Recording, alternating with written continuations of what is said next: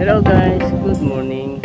Nandito naman po ang inyong lingkod kay Juan Magsasaka. So guys mga kasaka, uh, ngayon po i-update ko po kayo sa sa aking munting farm at ngayon ay ipapakita ko sa inyo ang yung itinanim natin na mais. Kung naalala nyo last month po ay tayo ay nagtanim ng mais at ito ipapakita ko po sa inyo so yung nakikita nyo, nyo po sa likod ay hindi po mais yan mga kasaka. ito po ay yan po malapit na rin siyang anihin. So andito po sa kabila ang ating mais. Ayan po. So medyo lalaki na po niya mga kasaka. Tara mga kasaka at ako inyong sama. Ayan po mga kasaka. Nakikita nyo dun po sa dulo. Hanggang doon po yun yung tinaniman ng mais so hindi na po tayo aabot doon kasi medyo malayo ang ating ah, munting bukid. Ayan po. Ah, bali one month na po siya. Kung maalala nyo dun sa huling video ko. At ayan. Ah, naabonohan na rin po siya. At kahapon kinailangan din ah, sprayan ng pangdamo yung herbicide po natin kasi nga madamo na. At yan po kasi ay pwedeng pagbahayan ng daga. So kaya kinakailangan natin linisan yung mga paligid lalo lalo na yung pilapil. Kasi nga isa sa pinagbabahayan ng daga yan. So lalaki na mga kasaka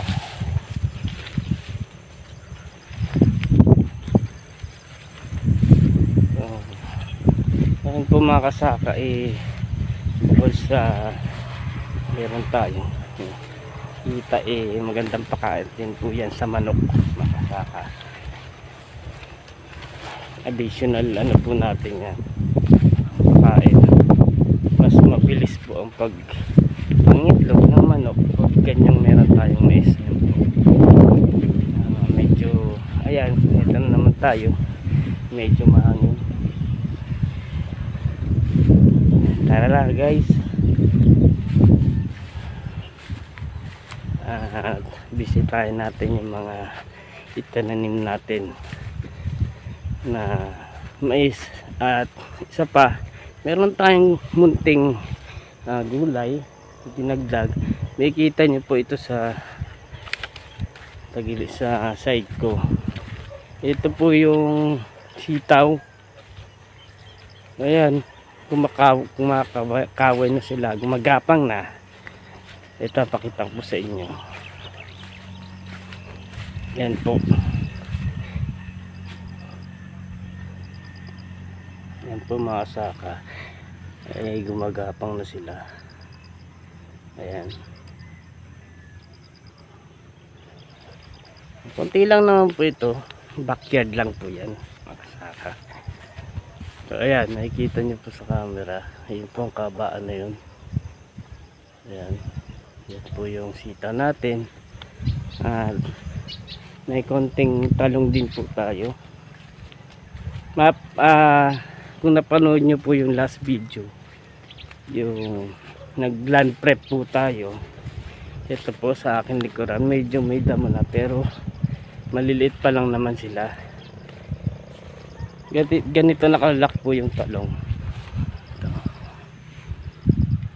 ito po mga kasaka. So, hindi pero sa kinakailangan na rin po natin sa may pruning. Ito po. Bakit po kailangan natin pruning? Kasi nga po lahat ng nutrients para lahat ng nutrients galing po dun sa ah, lupa ay mapunta lang dito sa pinaka main. So, para mas malalaki po yung kanyang bunga. Sa una po talaga ang kinakailangan natin siya ay yan tatanggalin natin ito. Mga naunang sanga. Yan po. Ito po yung simula po din eh yan yan. Puro ano po ito talungan. Tara po. Pasyal ko kayo sa aking munting backyard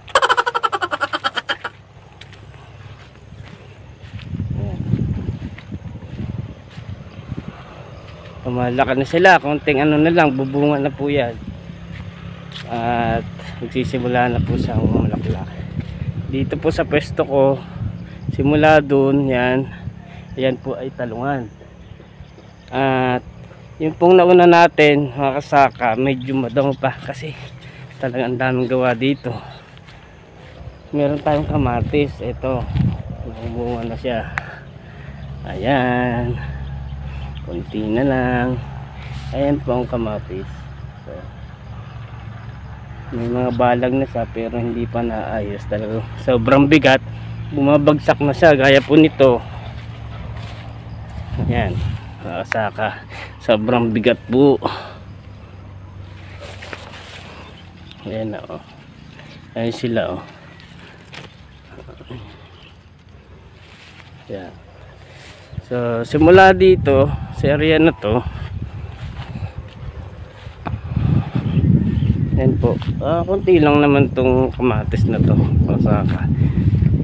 Medyo nahaluan nga rin lang ng talong. Ito, gaya po nito, kailangan na tong balagan. Ayan.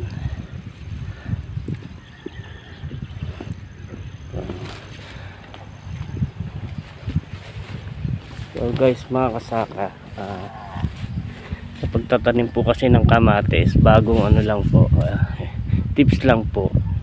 Kinakailangan talaga kasi ang kamatis ay kailangan tubigan lagi mo siyang diligan ay tubig. Kasi nga ano po yan eh kapag ah, biniak mo si kamatis yung bunga niya kulang yung laman niya bakante. So ibig sabihin kinukulang po siya sa tubig yan po. Kaya kailangan talaga eh sagana tayo sa tubig. So ayan po. Simula po dito sa pesto ko hanggang dun yan po kamatis po yan. At meron po tayong panibagong uh, land prep. Uh, pansin nyo itong malinis na to. Ay ang itatanim po natin dyan ay sili Po naka-land trip na po tayo para sa bagong ah, tanim. No, tara at ipapasal ko kayo sa bago nating nilinisan so ganyan sa, ganyan sa kahaba. Masaka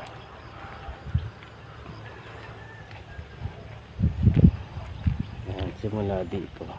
Pag ano at dito sa likuran ko yung mais Ayan. Mapapansin nyo mga kasaka. Yung mais po ay medyo nahuhuli dito. Kasi nga mabato. May part po kasi dito na medyo mabato yung area. Kaya hindi siya ganun kabilis compare dun sa taas na mas malalaki lumaki na sila. So, medyo na late po yung nandito sa paglaki. Pero ano pa rin po yan makakahabol pa rin po yan so yan mga kasaka ang update natin. At so ito sa area na to meron din po tayong pahabol hanggang dito. Pakita ko po sa inyo. Yan napakan ko na. Ito.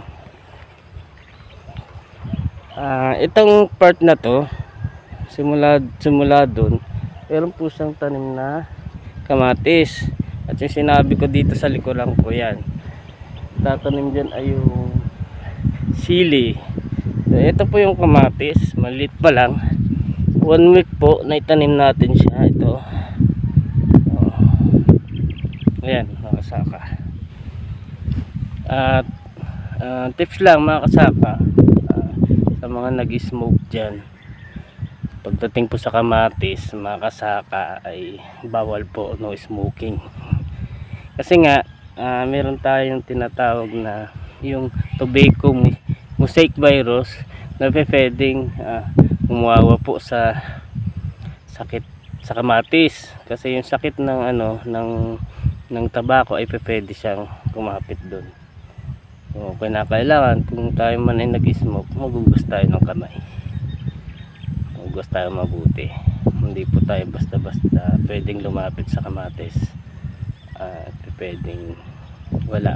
Hindi na gumanda yung kamatis at mamatay na lang siya. So ayun po mga kasaka yan lang pong update natin. At medyo mahaba na ating video. So ayan ah, mga kasaka sa aking ah, bagong sa bago kong channel mga kasaka ah, ganun pa rin please subscribe. And click notification bell. Like and share sa aking youtube channel. So mga kasaka medyo mainit na. So God bless you mga kasaka bye bye